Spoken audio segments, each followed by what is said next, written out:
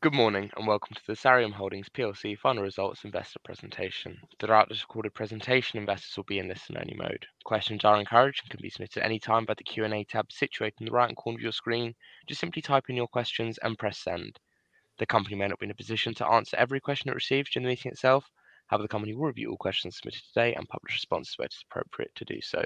Before we begin, I'd like to submit the following poll, and I'd now like to hand you over to Dr. Stephen Parker, Non-Executive Chairman. Good morning to you, sir.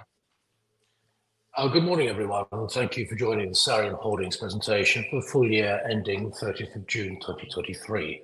I'm Stephen Parker, Chairman of the company, and I'm joined today by Dr. Tim Mitchell, Sareum CEO, and Dr. John Reader, our Chief Scientific Officer.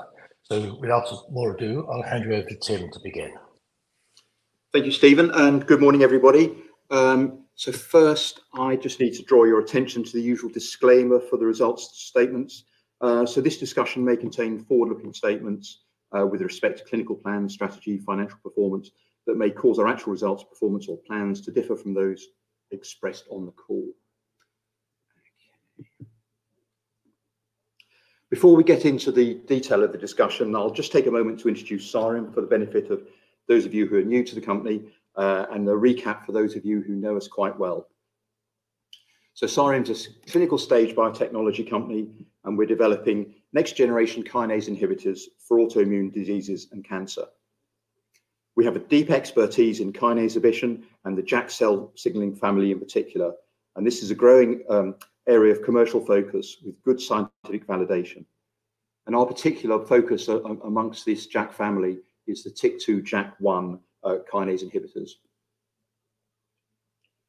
Our lead program, SDC-1801, is a novel dual TYK2/JAK1 kinase inhibitor, which is currently in a phase I clinical trial. Uh, so this is in healthy volunteers, uh, and in the first instance, we're intending to target psoriasis, which will be the clinical focus for the phase I-B stage of the trial. Our strategy, as it's always been, is to develop our research programs uh, to the late preclinical or early clinical stages before licensing or partnering to pharmaceutical majors. And we're expecting to report key clinical milestones for SDC-1801 in particular uh, throughout 2023 and 2024.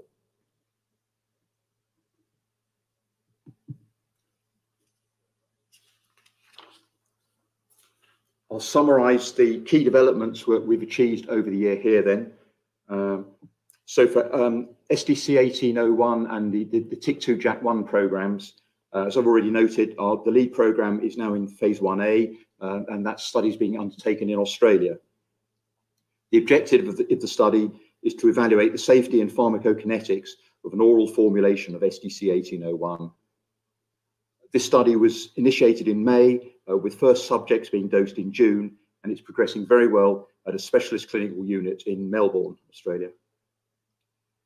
And in September, as you may have seen, after this period end, Uh, we started dosing in the multiple ascending dose phase of uh, the of the clinical trial.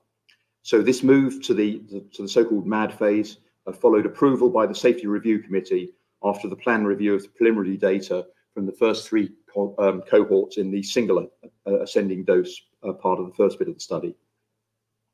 John will take you through more details of this later in the presentation.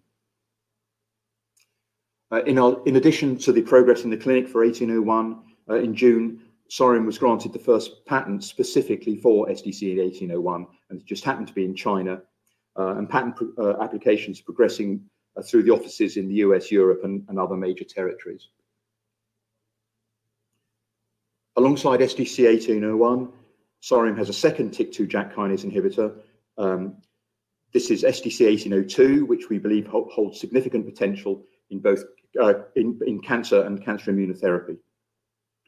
Uh, for this, translational studies continue. Uh, we still need to define the the optimal cancer application before we uh, before we move on to the necessary toxicology and manufacturing work for preparation for clinical trials for that compound.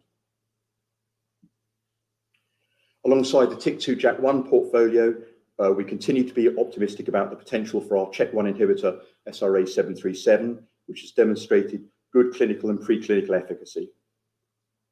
As you may have seen, Sierra Oncology, which is now a subsidiary of GSK, has returned the clinical study reports and other associated documents and data relating to, uh, to SR837 uh, to our co-development partner, uh, CPF, the, Cancer Research Technology Pioneer Fund.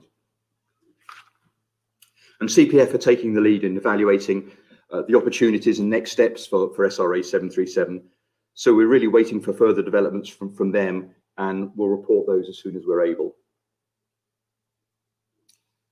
To summarise the financial results, uh, we reported a loss for the 12 months to June of 3.2 million. Uh, so that's an increase over the, last year, but it reflects the higher uh, research and development costs involved with late preclinical development and preparation for these clinical studies. Cash at the end of the period was, was 1 million, and after the period end, we announced a funding facility worth up to 5 million uh, with a group called Riverfort, of which 2 million has so far been received to date.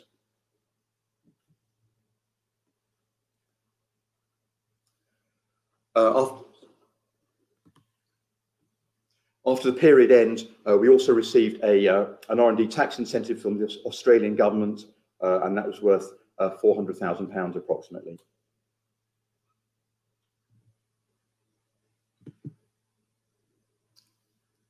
Uh, the slide here just shows the, the pipeline in, in a visual form.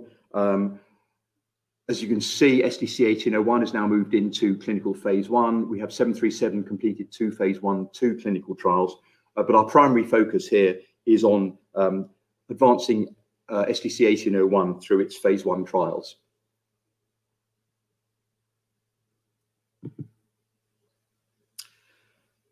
Before we move on to the technical parts of the presentation, I'll just spend a bit of time on the TYK2 JAK1 landscape and set out why we're so excited about this approach.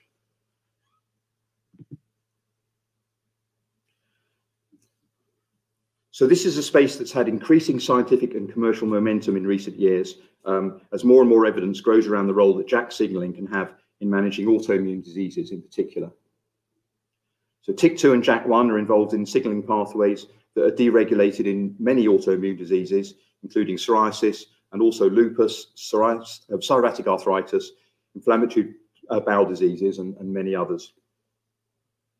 We've seen greater recognition by large pharma and other developers of the potential that the TYK2 class in particular has to offer patients with autoimmune diseases.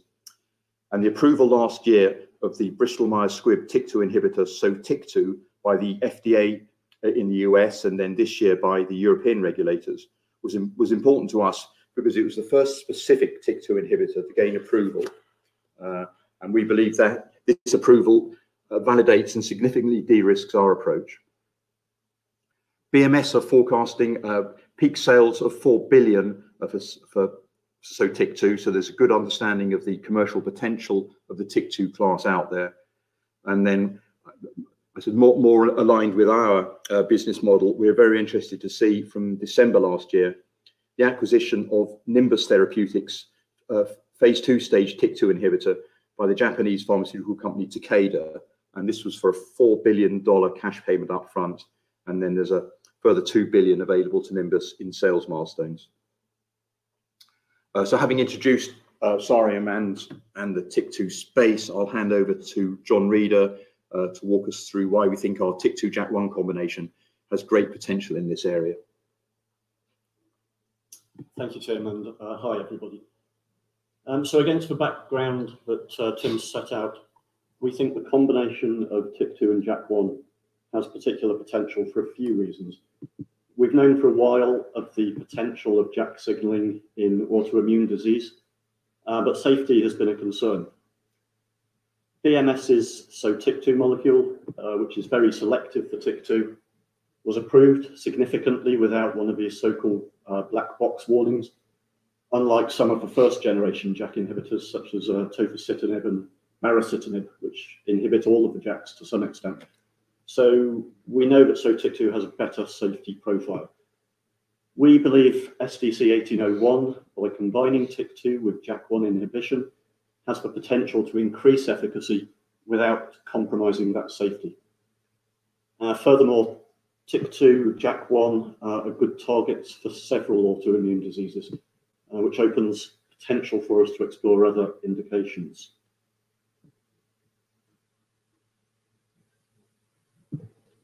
Um, so very high level, just walking through the science behind our proprietary pipeline.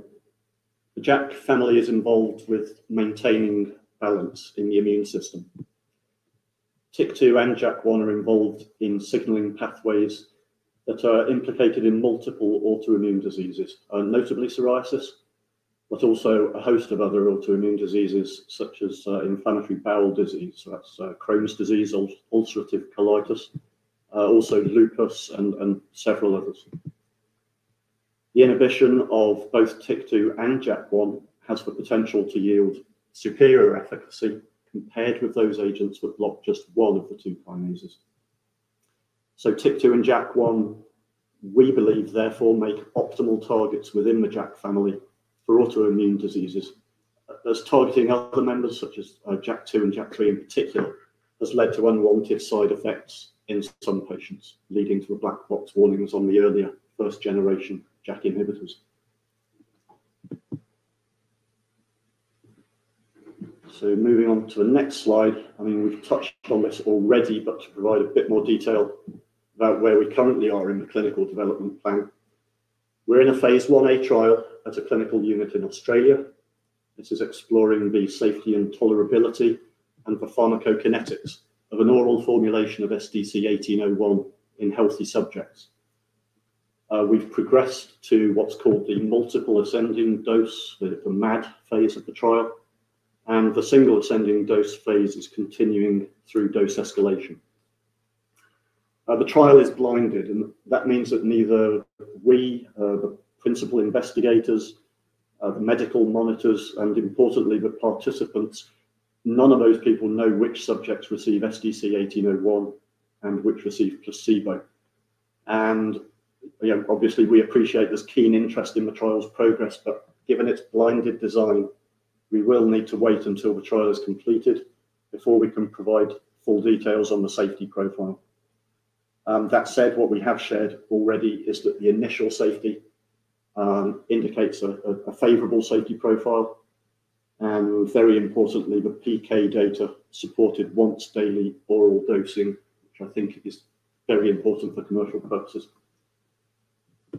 Uh, subject to continuing good safety data um, and financing, regulatory and recruitment considerations, our intention is to commence the phase 1B uh, phase of the trial in psoriasis patients in 2024. The synthesis of the drug substance uh, for SDC 1801 and of the capsules for the clinical trial have been uh, successfully completed. And the current plan is to recruit up to 120 subjects in total, and that's 96 for phase 1A, and 24 patients for phase 1B and the anticipated timelines of the trial are shown in the arrow below. Uh, so again, you know, subject to financing, uh, regulatory approval and recruitment going to plan, we'd anticipate a phase 1B readout before the end of 2024.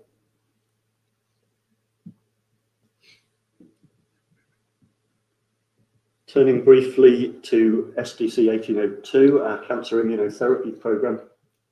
Uh, this is an immunomodulating inhibitor of the TYK2 JAK1 family, which we believe has potential both in cancer and autoimmune disease. Uh, SDC 1802 has demonstrated good efficacy in preclinical cancer models. We're working on translational studies uh, with the aim of defining the optimal cancer applications before moving into a phase one trial. Uh, we think that the experience of clinical development of SDC 1801 will support the development plan for SDC 1802. So the molecules are structurally quite related. And during the period, we were pleased to have been granted a patent by the um, US Patent Office covering the treatment of autoimmune diseases by SDC 1802, uh, which further expands the protection for this compound beyond immuno-oncology.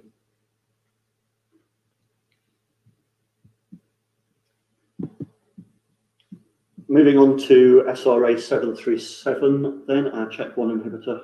Um, just to update you, I mean, I'm sure many of you are familiar with the history here, um, but SRA 737 was developed by Sareum in collaboration with um, several cancer research UK funded organisations uh, including the current co-development partnership that we have with the Cancer Research Technology Pioneer Fund, CPF. Under the terms of our co-development partnership, Sareum is entitled to 27.5% of any commercialization revenues associated with SRA 737. Um, 737 has completed two phase one, two clinical trials, which were funded by Sierra Oncology. And the asset demonstrated a good safety profile and promising clinical and preclinical efficacy, particularly in combination settings. Sierra Oncology was subsequently bought by GSK, uh, driven by its interest in another of uh, Sierra's assets. And GSK decided to return SRA 737 um, and all of the clinical study reports and data uh, and materials have now been received from, um, from Sierra. CPF is evaluating potential licensing opportunities.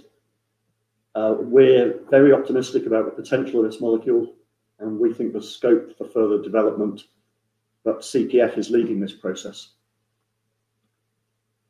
Um, I'll now hand back to Tim to cover the, uh, the financials. Thank you, John. So to briefly summarize the, the finance, the financial results that we published on Monday, uh, looking at the income statement then, um, so I've already mentioned higher R&D expenses that are associated with the setup and the start of the phase one trial um, being responsible for the increased uh, operating expenses. Uh, so the loss for the year was uh, 3.2 million this year compared to 2.2 million this this year, but um, fully in line with market expectations, and as I say, reflecting these R&D costs. Uh, if you look on the tax line, um, there's uh, there's plus 833,000, so so that represents the R&D tax credits. Um, as, as we noted in the results RNS, we've already received uh, the cash credit from the Australian government of, of around about 400,000 pounds. Uh, and the rest we'll expect from the UK government. Uh, we normally get it around the end of the year, uh, maybe maybe early in the new year.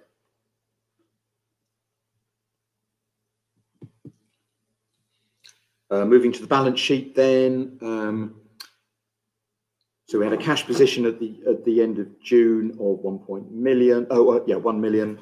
Um, but of course, this doesn't include the finance facility from Riverfort, uh, uh, which I'll, I'll, just touch on in a minute. But we've we've so far received 200, uh, 2 million from that, and that that was in August. So so the well, we're, we're, able to manage our cash resources very successfully.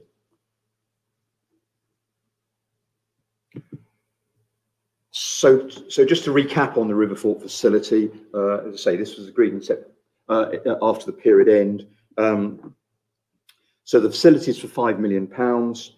Um, and that will enable us to complete the phase 1A and B development of uh, 1801 if it's fully drawn, uh, plus also it, it, when if we're in receipt of the expected tax credits. Uh, so we've received 2 million so far. Um, there's a further two payments of 300,000 each, um, one in November, uh, one in February, they're committed. Um, and then an additional 1.4 million due in February. So, so these are six months anniversaries that, that's how the timings are working out. Uh, they're, they're, subject to standard trading conditions. And then beyond that, a further 1 million is available by mutual agreement. So, so that's, that's essentially the bones of, of the agreement.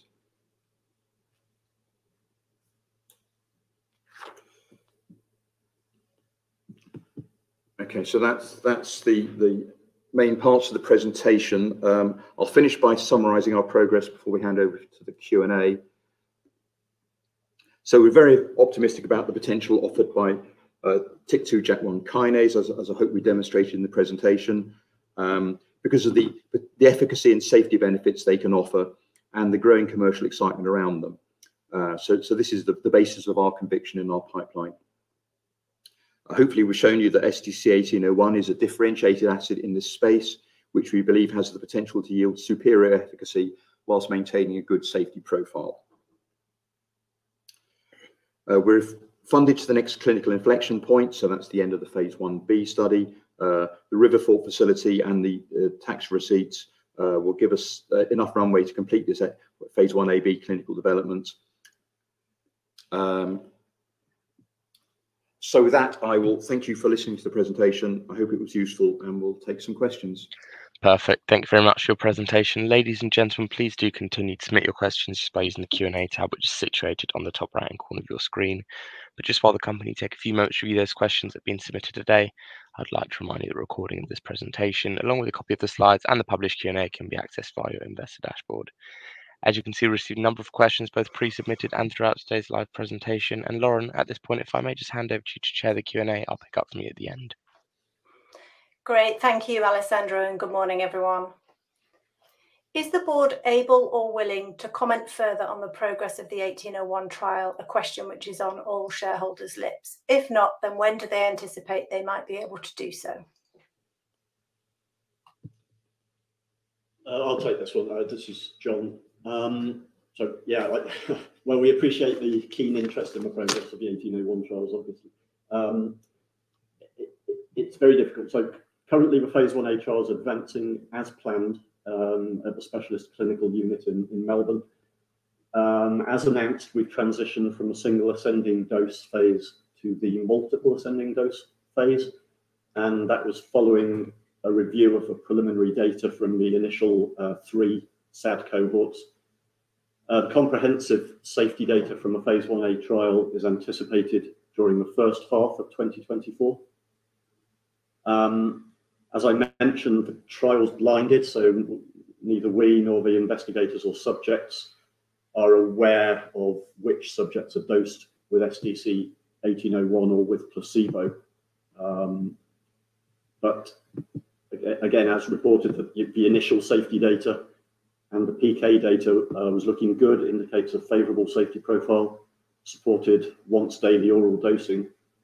And ju just to sort of put a bit of flesh on the bones, the way these um, studies progress, so a cohort is dosed, uh, lots of sampling is done, lots of readings are taken, uh, you know, physiological readings, etc. And Then all of that data is presented to a safety review committee at the end of the cohort. That's all reviewed, and only when that is deemed successful uh, is the next cohort uh, ready for dosing. So um, the sort of cycle times like that, the three SAD cohorts uh, were reviewed before moving on to the MAD. So um, this is how it all works. We're committed to providing accurate and timely information, and as and when there are significant developments, shareholders will be promptly informed. Thank you. Um, along similar lines, uh, again, asking about the completion timing, but also how long will it take for the analysis and for you to come to a decision based on the data obtained as to whether to proceed with a phase 1B? Yeah. Um, well, again, yeah, so we're in the MAD phase. Um, the SAD phase is continuing. I think, you know, we're very optimistic we'll have all of this phase 1A completed and data received and fully analyzed by the end of half one 2024, hopefully sooner. But some of this is out of our control, so you know, things like recruitment, um, capacity at the unit, for example. So we're, you know, just we're just being slightly cautious about timelines here, but so far it's all gone to plan. It's all gone on schedule, so we're optimistic we'll have that all completed uh, by the end of 2024. Uh, sorry, by the end of half one 2024. Um, the phase 1A, just as a reminder, comprises three parts. We've got the single ascending dose, the multiple ascending dose, and there's also a food effect study, which we haven't really touched on today, but that's investigating how uh, food affects the PK or the uptake of SDC-1801. Um, and Each part of the study consists of multiple cohorts or groups of subjects. Um, as I've said, the data from them need to be reviewed by a safety review committee before we move on to the next phase. But I think, you know, the start of the MAD phase demonstrated that the single ascending dose uh, study has been going well. The safety profile is looking good, otherwise we would not have been allowed to begin the MAD phase. Um, but the exact timing of the subsequent phases depends on several factors, you know, recruitment, capacity in the clinical unit, et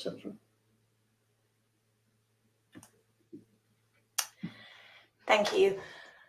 When do the board expect to receive the 1801 patents for the US, Europe, and other territories? And how important is it to have these outstanding patents granted before any future potential license deal? Um, okay, I'll take this one as well. It, it, unfortunately, it's not an exact science, so we can't give any prediction or forecast when the various patent offices will pick our case for examination. Um, you know, really, we could hear something next week, or it might be another year or even longer. Um, we just don't get any any warning of, of when they're going to pick up our particular docket and start to start to deal with it, uh, which can be frustrating. But I think you know what's important is that the Chinese Patent Office has granted our 1801 case, and it's essentially the same application in the other territories. There are some very minor technical differences just to satisfy the different territories' uh, requirements, but essentially we're looking to protect the same molecules and with the same data. So I think the fact that uh, it was granted in China has given us a great deal of confidence that it will be approved in the other territories when they do come to examine it. Uh, and the other part of the question was how that might affect future license deals. Uh, you know, I, so it would be helpful if we had the granted patents, but it's not essential. And again, I think the fact that the patent was granted in China uh, will give reassurance to anybody who's performing due diligence on our intellectual property that the patent is very likely to be granted in the other territories as well. So I think really getting that first patent uh, away is, is, is absolutely crucial in validating the approach.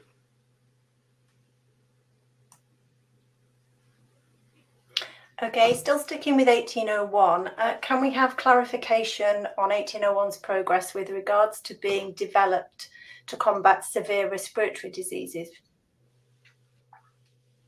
Yeah, um, so uh, uh hopefully as you picked up from a presentation, our current focus and priority is on the development of, of SDC 1801 for autoimmune diseases, um, particularly psoriasis.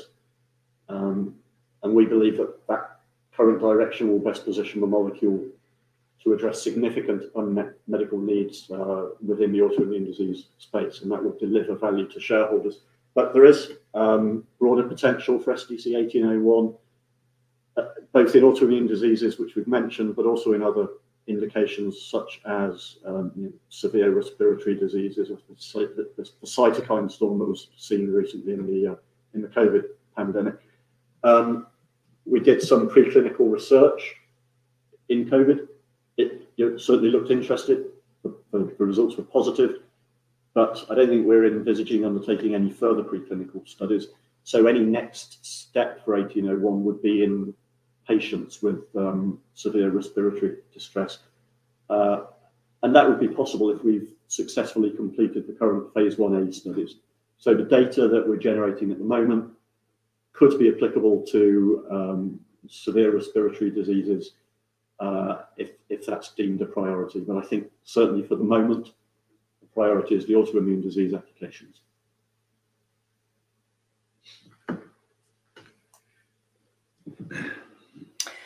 Okay, um, moving on.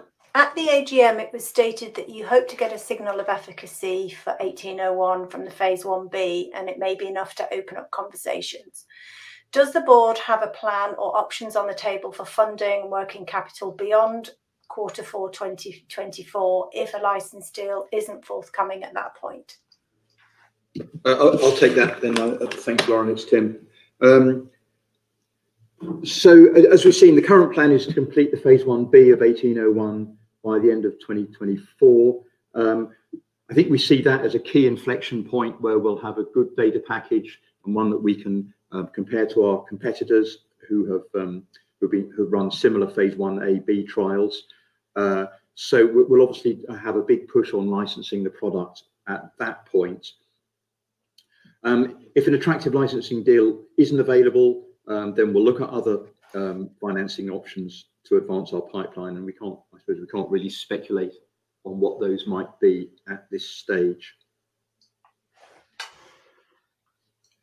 Okay, and then with cash burn being an ever more important factor for Sareum, what is the board strategy to ensure we remain well funded to complete our planned activities? Okay. Um, so, so certainly in the, the, the, medium term, the, the Riverfort facility, assuming it's fully drawn, uh, plus our anticipated tax credits, uh, allow us to complete the phase 1B, and, and that's really the uh, that's the priority for, for us is to, is to complete that phase 1B of SDC 1801. Okay. And maybe sticking on on this light, um, why did the company choose the funding arrangement with RiverFort as opposed to securing investment from high net worth individuals or institutional investors? How do you justify that this is the best available option for the company at the current time? Okay. Um, so uh, the management team and the board, uh, and, and, along with our advisors, uh, we assessed various funding options uh, during the late summer and, and, carefully considered uh, them all on their merits. Um, of those, we found this prepayment facility with RiverFort to be the best option available to us to enable us to flexibly fund our further progress. Um, to say, yeah, so the structure of the facility gives us potential to access capital uh, in, a, in, a, in, a, nice, flexible and controlled manner.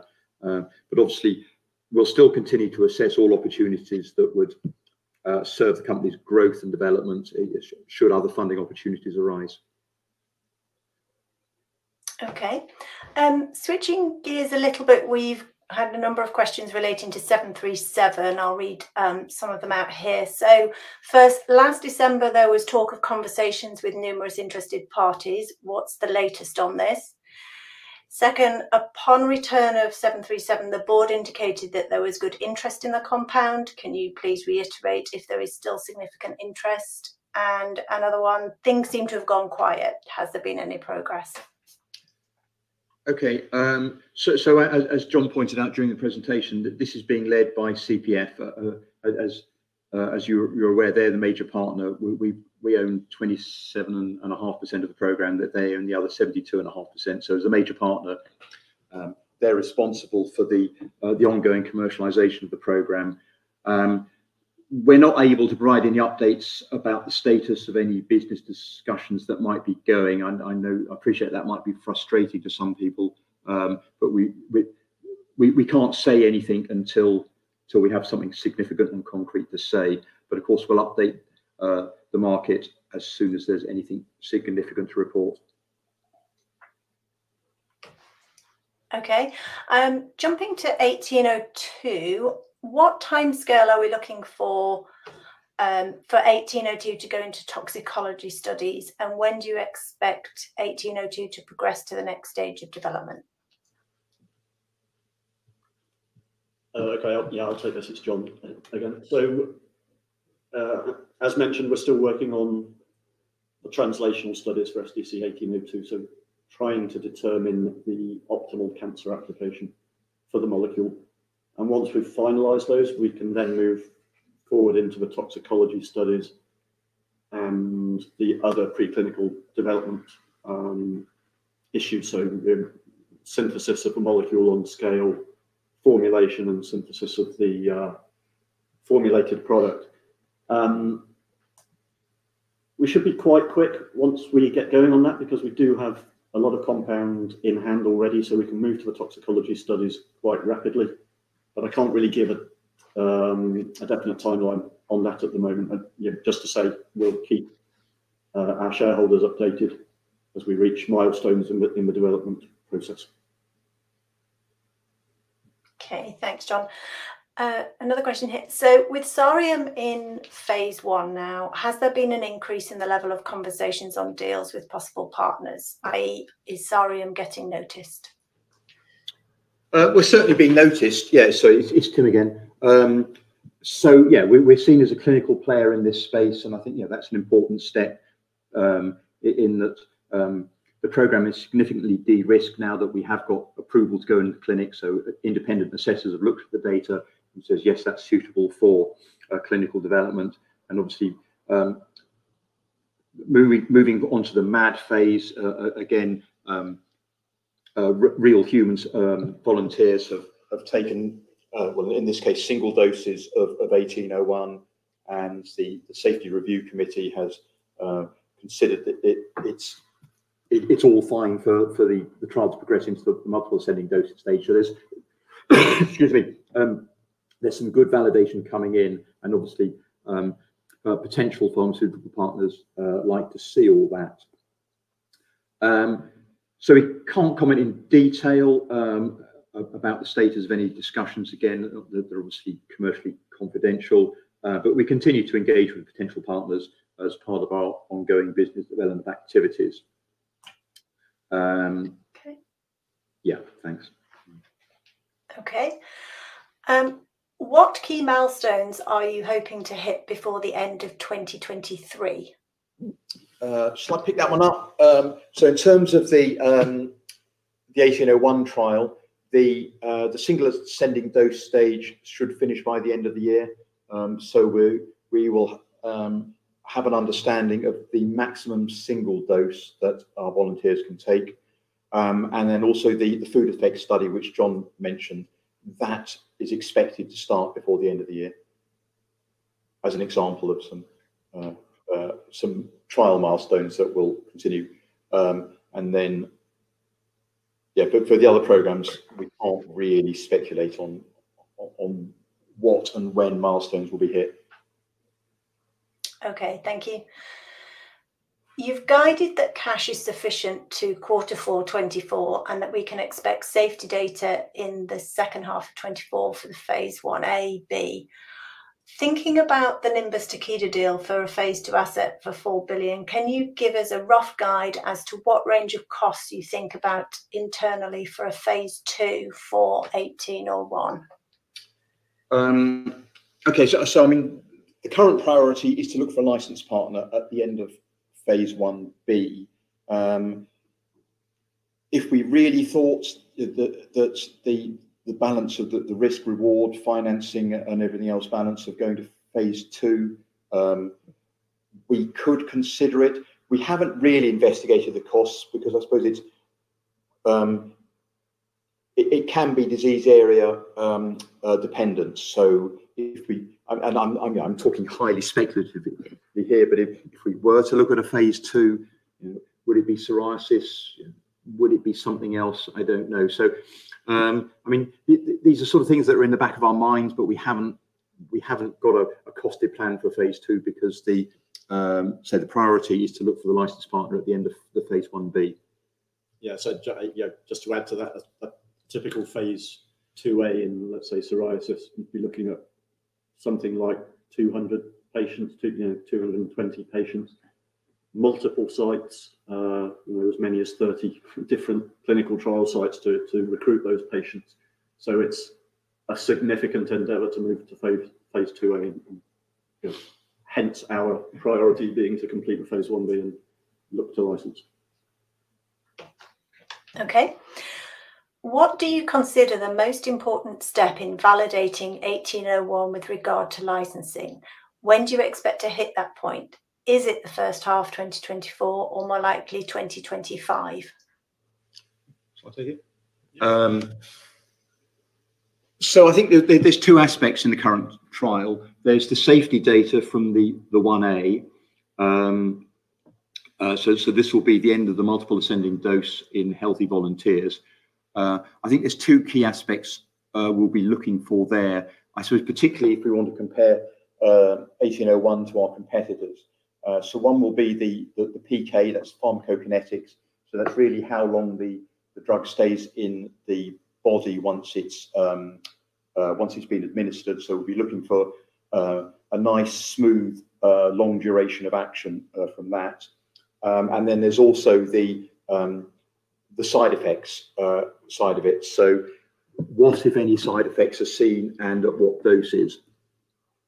Um, and then there'll be the the phase 1b study, um, uh, as, as, as, John's noted, so it's, it's, quite a small study, so 24 patients, but we, we will see some data there.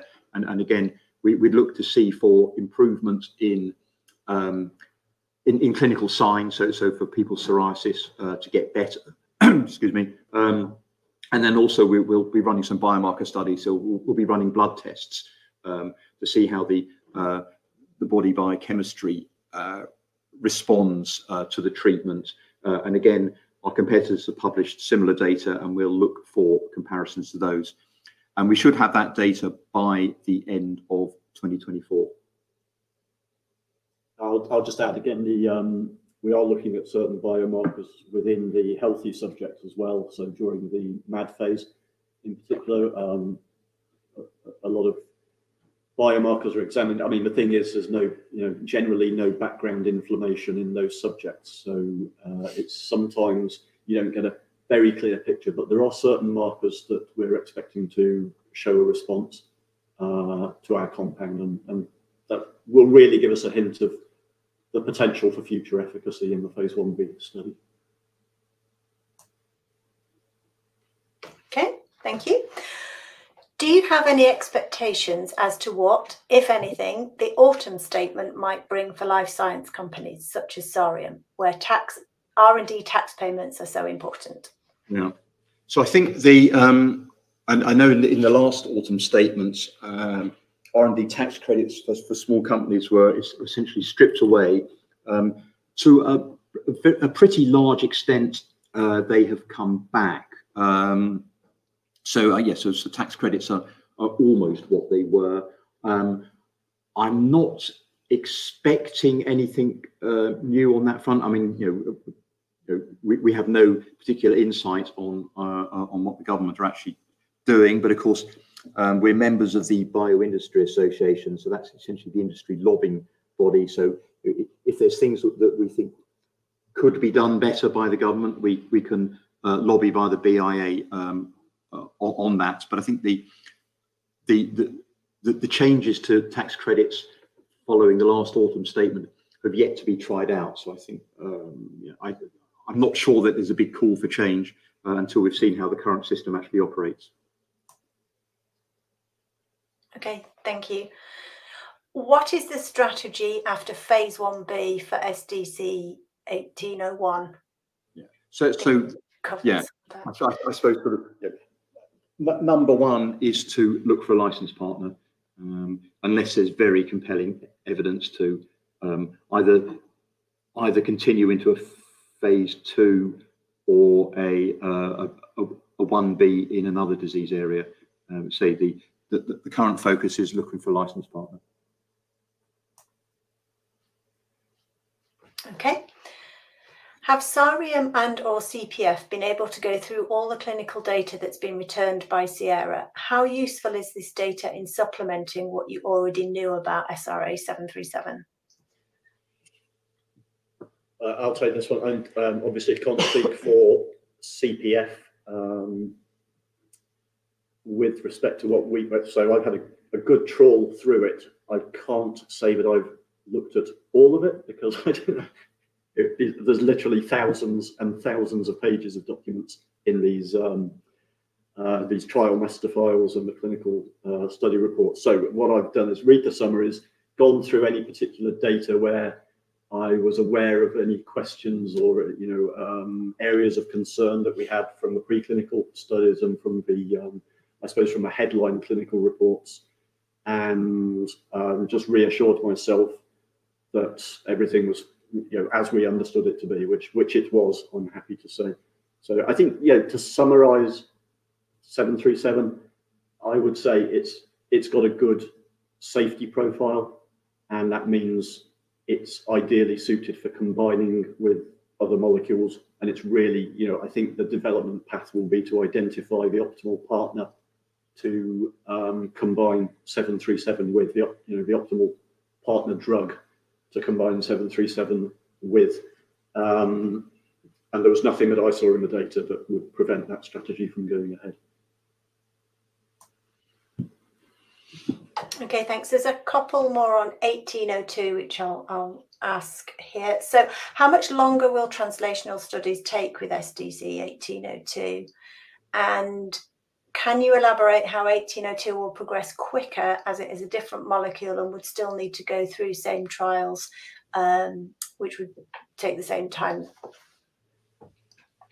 Yeah. Um, so, so with respect to the sort of you know the preclinical, the translational studies, uh, there's always more that can be done, right, in an experiment. Um, you can always do more, but I think you know there is going to come a point where we have to say, oh, okay, we've done enough now. This is our this is going to be our patient population in a any future phase one trial. Uh, all I can say really is we're not there yet. We have not decided, and it could be that the you know the, the data guides us towards uh, what's called an all comers trial. So we don't identify any particular patient population, but we just go for let's say all solid tumor um, patients or all um, blood cancer patients or, or, or, something of that. But what we're hoping to do is narrow it down uh, to a more specific subset of patients who we identify as having the best chance of responding to 1802.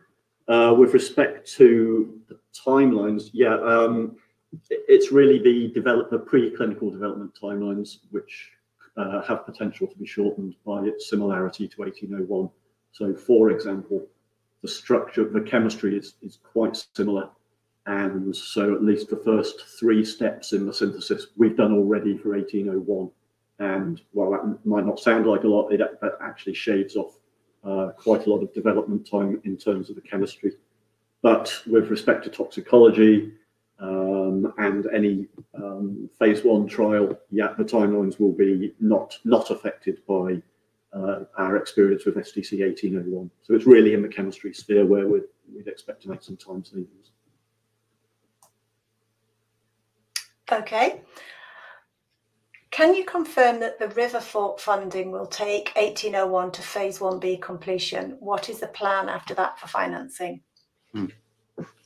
Um, so I think we've we, have touched on this already. Um, so yes, the the um, the, the RiverFort five million facility, if we fully draw it, uh, along with the anticipated tax credits, is expecting us to take uh, take 1801 to the end of phase 1B studies. Uh, beyond that, I think we'll say we, have got options to, to look for a licensing partner and, and, think that's our priority. And obviously that will generate income. Um, so if, if, there really is compelling reasons to continue development, um, say which we're not particularly considering at the moment, but I, I guess we never say never. Um, then we'd look for for financing to cover those. But I think to, to, to reiterate and stress uh, the, the, plan A uh, and probably plan B as well, you know, the, the, the, the, real focus is on completing that phase 1B study um, and then looking for a license partner. Okay, thanks. I, have maybe got a couple more questions here, and uh, I think we might have addressed um, one of them already. Um, and one's more a point of clarification, actually. So, if the trial is blinded, who actually knows who had 1801 and who had placebo? I think it's just clarifying clinical trial design. Yeah, no, um, yeah, it's a, it's a, it's an important question. Yeah, somebody has to know. So there's um, there are a few unblinded members of the study team. So, uh, for example, in the pharmacy, uh, there are unblinded people who prepare, you know, so it's literally a little tray of capsules that is taken out to the subjects. Uh, it's, it, it's pushed through a hatch and the nurse picks it up and takes it to the subjects. So they're unblinded, they're preparing um, yeah, the, the, capsules and the placebo capsules, which look identical, um, and pushing them through. And obviously, they're keeping the records of which um, subject receives placebo and which subject receives uh, active SDC 1801 capsules. Um, and then at the other end of the process, there are um, a bioanalytical team. So they are looking at, they're analyzing blood to look at the levels of SDC 1801 in the blood at various time points after they've uh, swallowed the capsule. And so there are certain people within that group who are unblinded. Uh, for example, we're not analysing the blood of the placebo uh, recipients. Um, so, of necessity, the bioanalytical guys have to um, be unblinded. But then, once they've generated their results, that data is reblinded, sent over to uh, our experts in pharmacokinetic analysis, and they compile a report for us based on the reblinded data. So we get um, a report of the average um, concentrations of SDC 1801 in the in the in the blood of the recipients. Um, and then all of the safety data that we receive is blinded as well. So, you know, we're, we're looking at safety data, the laboratory, uh, chemistry of the subjects in the trial, uh, you know, trying to see if there are any areas of concern, but of course not knowing if those people have received placebo or SDC 1801. So I, yeah, I hope that answers the question. Thanks very much. And, and I think we'll just take this one last question, which I think we've addressed um, previously, but just to confirm, maybe Tim, is there a phase 1C or does the potential interest usually occur after the phase 1B results? I think this is talking about interest in a potential deals. Yeah. So there's there's not really such thing as a phase 1C. After the um, from phase 1B, the, the, the next step would be a phase 2A. Um, but yeah, I, th I, think we're we're expecting to generate sufficient data at the 1B stage uh, to enable us to get a uh, the licensing deal that we've been looking for. Um, Thank you. Perfect. And thank you very much for that. I think you've addressed all those questions you can from investors. And of course, the company will review all the questions submitted today and will publish those responses on the Investor Meet Company platform. But just before redirecting investors to provide you with their feedback, which is particularly important to the company, Stephen, could I just ask you for a few closing comments? Yes, of course. Well, thank you very much, everybody, for joining us today and for your continued support for, for Sareum. We do hope that we've demonstrated a continuing progress advancing 1801 through the clinic. Uh, and I think it's very important to add and just uh, to, to, to, emphasize what's already been said that uh, every progress step that we have uh, is something which has been approved by the independent safety board looking at, at this study. Uh, so it's not it's not just a question of us pushing as, as, as quickly as we can through uh, through the stages. This is this you know the the, the box is ticked every time that uh, that, that, that, we do. So uh, we very much look forward to the next opportunity of of sharing that progress with you. So with that, have a good day and many thanks. Bye. Perfect. And thank you once again for updating investors today. Could I please ask investors not to close the session as you'll now be automatically redirected to provide your feedback in order that the management team can better understand your views and expectations. This will only take a few moments to complete, but I'm sure will be greatly valued by the company. On behalf of the management team of Sareum Holdings plc, we'd like to thank you for attending today's presentation and good morning to you all.